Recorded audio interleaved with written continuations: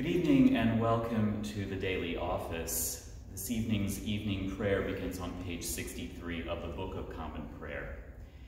This evening we commemorate St. John of the Cross. O God, make speed to save us. O Lord, make haste to help us. Glory be to the Father, and to the Son, and to the Holy Ghost, as it was in the beginning, is now, and ever shall be, world without end. Amen. O gracious light, pure brightness of the ever-living Father in heaven, O Jesus Christ, holy and blessed, now as we come to the setting of the sun, and our eyes behold the vesper light, we sing thy praises, O God, Father, Son, and Holy Spirit. Thou art worthy at all times to be praised by happy voices, O Son of God, O Giver of life, and to be glorified through all the worlds.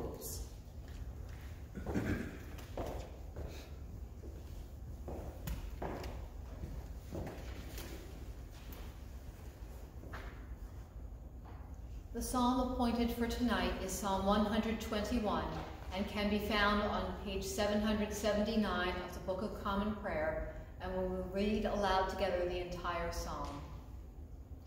I lift up my eyes to the hills. From where is my help to come? My help comes from the Lord, the maker of heaven and earth. He will not let your foot be moved, and he who watches over you will not fall asleep. Behold, he who keeps watch over Israel shall neither slumber nor sleep. The Lord himself watches over you. The Lord is your shade at your right hand, so that the sun shall not strike you by day, nor the moon by night. The Lord shall preserve you from all evil. It is he who shall keep you safe. The Lord shall watch over your going out and your coming in from this time forth forevermore. Glory be to the Father, and to the Son, and to the Holy Ghost, as, as it was in the beginning, is now, and ever shall be, world without end. Amen. A reading from the Song of Solomon. Upon my bed at night, I sought him whom my soul loves. I sought him, but found him not. I called him, but he gave no answer. I will rise now and go about the city, in the streets and in the squares. I will seek him whom my soul loves. I sought him, but found him not. The sentinels found me as they went about in the city. Have you seen him whom my soul loves? Scarcely had I passed them when I found him whom my soul loves.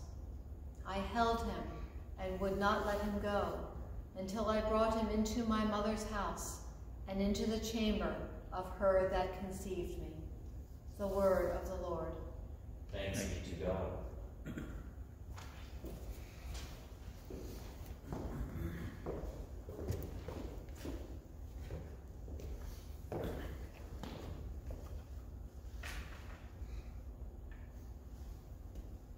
Please join me in saying the Magnificat, the Song of Mary. My soul doth magnify the Lord, and my spirit hath rejoiced in God my Saviour, for he hath regarded the lowliness of his handmaiden.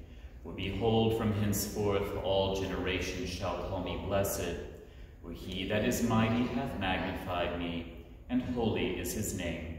And his mercy is on them that fear him throughout all generations. He hath showed strength with his arm.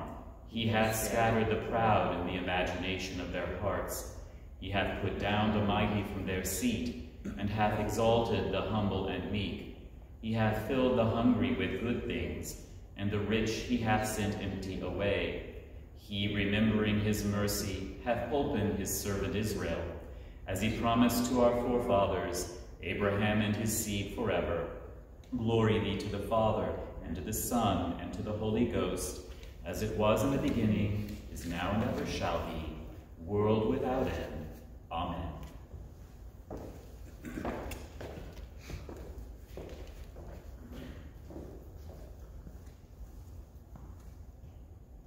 A reading from the Gospel of John.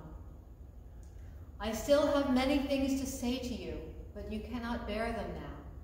When the Spirit of truth comes, he will guide you into all the truth. For he will not speak on his own, but will speak whatever he hears. And he will declare to you the things that are to come. He will glorify me, because he will take what is mine and declare it to you. All that the Father has is mine. For this reason I said that he will take what is mine and declare it to you. A little while, and you will no longer see me, and again a little while, and you will see me.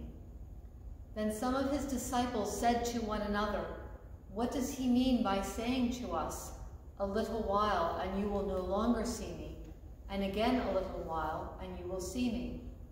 And because I am going to the Father. They said, What does he mean by this a little while? We do not know what he is talking about. Jesus knew that they wanted to ask him, so he said to them, Are you discussing among yourselves what I meant when I said, A little while, and you will no longer see me, and again a little while, and you will see me? Very truly I tell you, you will weep and mourn, but the world will rejoice. You will have pain, but your pain will turn into joy. When a woman is in labor, she has pain because her hour has come. But when her child is born, she no longer remembers the anguish because of the joy of having brought a human being into the world. So you have pain now, but I will see you again, and your hearts will rejoice, and no one will take your joy from you. The word of the Lord. Thanks be to God.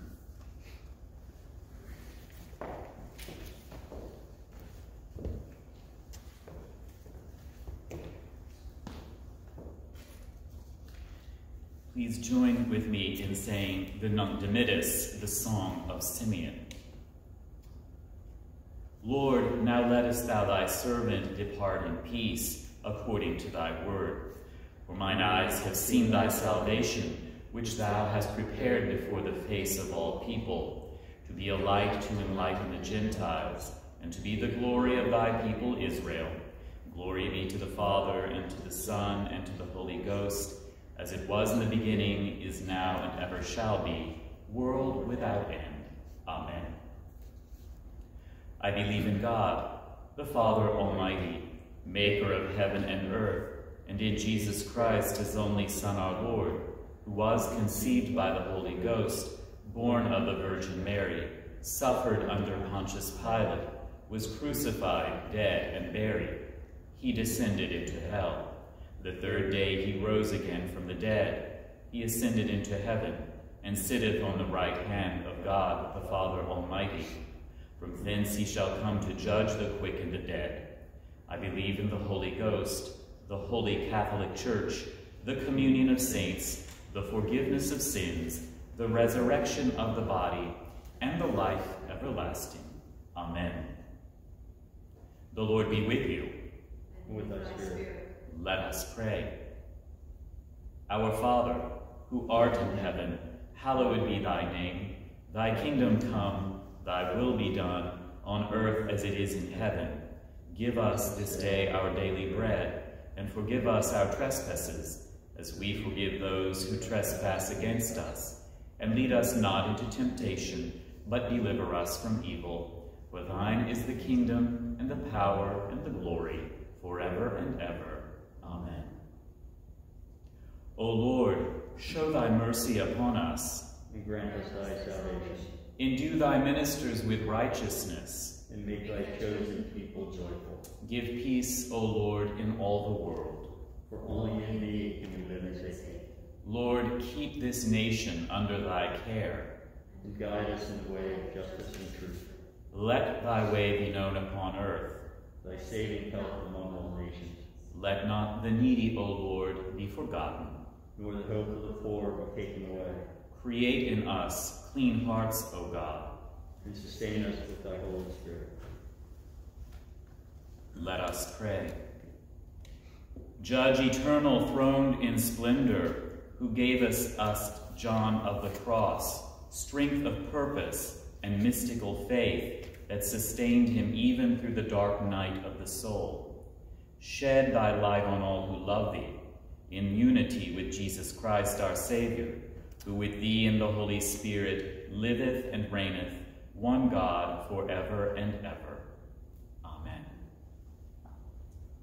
Lord Jesus, stay with us, for evening is at hand and the day is past.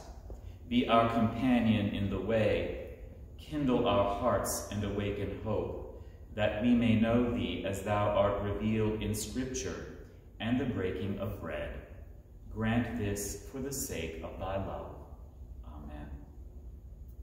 O God and Father of all, whom the whole heavens adore, let the whole earth also worship thee, all nations obey thee, all tongues confess and bless thee, and men and women everywhere love thee and serve thee in peace, through Christ our Lord.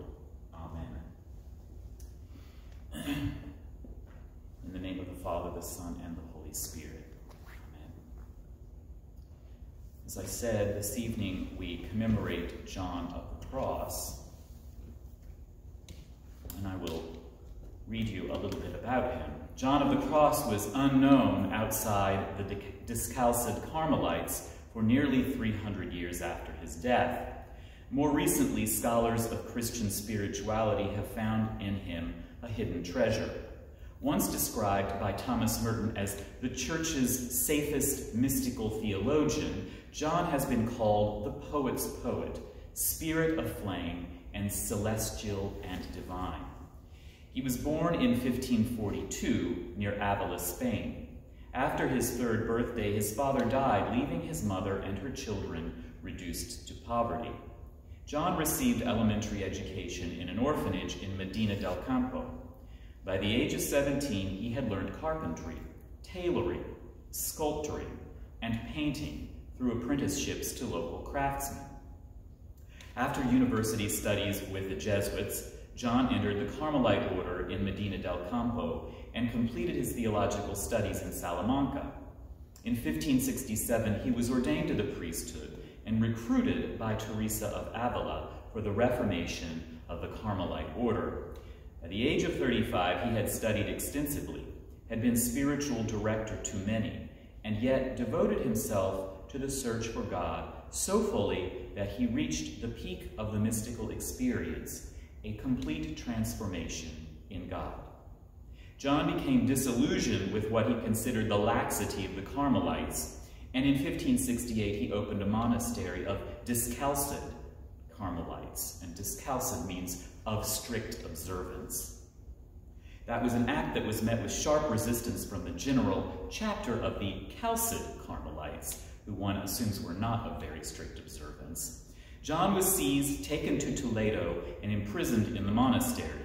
During nine months of great hardship, he comforted himself by writing poetry. It was while he was imprisoned that he composed the great part of his luminous masterpiece called The Spiritual Canticle, as well as a number of shorter poems. Other major works are The Ascent of Mount Carmel, The Living Flame of Love, and The Dark Night. It is this latter work, Noche Obscura del Alma, that gave the English language the phrase dark night of the soul. After a severe illness, John died on December 14th in 1591 in Ubeda, which is in southern Spain. May St. John of the Cross pray for us in the name of the Father, the Son, and the Holy Spirit. Amen.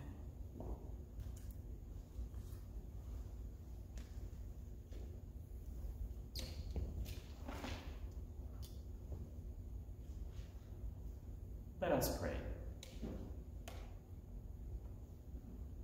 Gracious Father, we pray for thy holy Catholic Church. Fill it with all truth, in all truth with all peace. Where it is corrupt, purify it. Where it is in error, direct it. Where in anything it is amiss, reform it. Where it is right, strengthen it. Where it is in want, provide for it. Where it is divided, reunite it for the sake of Jesus Christ, thy Son, our Savior. Amen. O God, you have bound us together in a common life. Help us in the midst of our struggles for justice and truth to confront one another without hatred or bitterness, and to work together with mutual forbearance and respect through Jesus Christ our Lord. Amen. Lord, make us instruments of your peace. Where there is hatred, let us sow love. Where there is injury, pardon. Where there is discord, union. Where there is doubt, faith. Where there is despair, hope.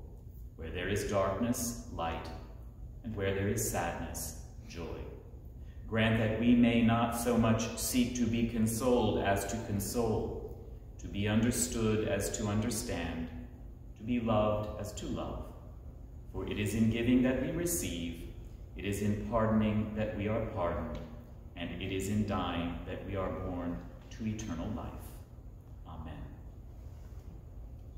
O Lord, support us all the day long until the shadows lengthen and the evening comes and the busy world is hushed and the fever of life is over and our work is done. Then in thy mercy, grant us a safe lodging and a holy rest and peace at the last. Amen. Please join with me in the general thanksgiving. Almighty God, Father of all mercies, we, thine unworthy servants, do give thee most humble and hearty thanks for all thy goodness and loving kindness to us and to all whom thou hast made. We bless thee for our creation, preservation, and all the blessings of this life, but above all for thine inestimable love in the redemption of the world by our Lord Jesus Christ, for the means of grace and for the hope of glory. And we beseech thee, give us that due sense of all thy mercies, that our hearts may be unfeignedly thankful, and that we show forth thy praise, not only with our lips, but in our lives, by giving up ourselves to thy service, and by walking before thee in holiness and righteousness all our days. Through Jesus Christ our Lord, to whom with thee and the Holy Ghost be all honor and glory, world without end. Amen. Almighty God, who has given us grace at this time with one accord to make our common supplication unto thee, and has promised through thy well-beloved Son that when two or three are gathered together in his name, thou wilt be in the midst of them. Fulfill now, O Lord, the desires and petitions of thy servants, as may be best for us, granting us in this world knowledge of thy truth, and in the world to come, life everlasting. Amen. Let us bless the Lord. Thanks be to God. The grace of our Lord Jesus Christ and the love of God and the fellowship of the Holy Ghost be with us all evermore. Amen. May the divine help remain with us always and with our absent brothers and sisters.